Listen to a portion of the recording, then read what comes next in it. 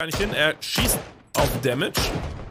Gideon ist da rangepusht und hat tatsächlich zwei Kills machen können. Mit dem ein Kill, zwei Knocks. Mit der HE. Und jetzt Paddy Close. Das muss er doch wissen, dass Gideon da jetzt schon dran ist. Oh, da kriegt man die Hits von durch den Busch durch. Final Gaming nimmt Magnus komplett raus.